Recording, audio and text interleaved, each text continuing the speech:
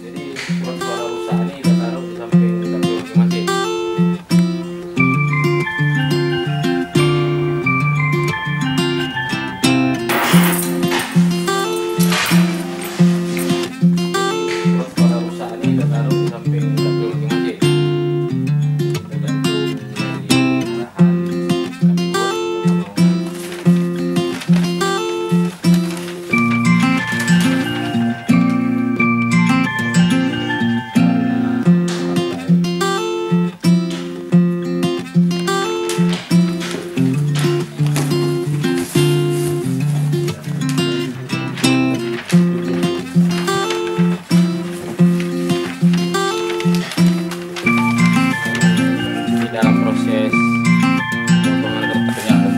Yeah, I can deal with it.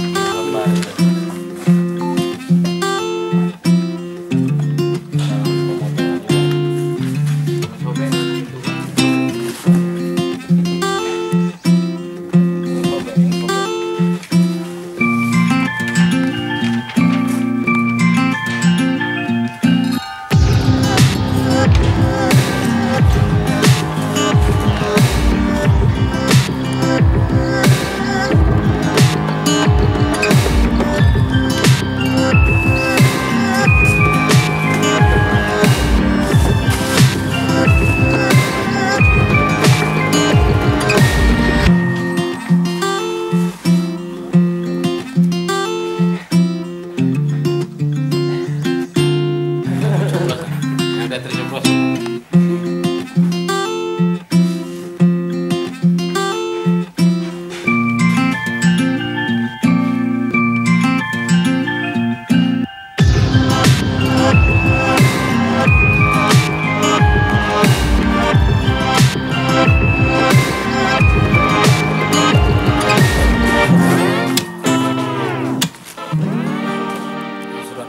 Rusak itu ada beberapa kategori. Yang pertama itu ada degradasi warna. Misalnya warna yang seharusnya merah itu turun kadar warna merahnya misalnya.